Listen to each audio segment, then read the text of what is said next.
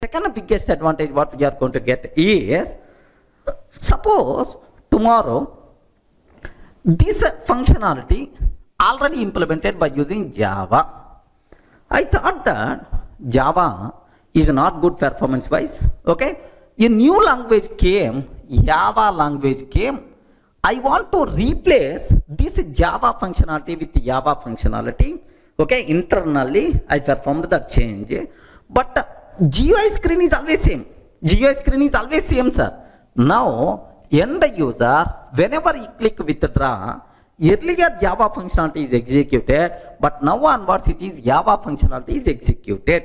Now the point is, without affecting end user, we can able to perform any changes in our internal design. Are you getting right? So we can able to change technology itself uh, by maintaining same GUI screen. So is there any effect on the end user?